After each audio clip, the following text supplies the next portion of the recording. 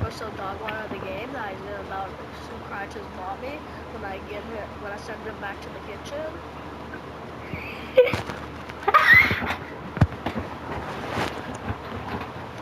no, I did not. No, that did not happen. Seriously, no, that did not. Happen. you did not see a word. what?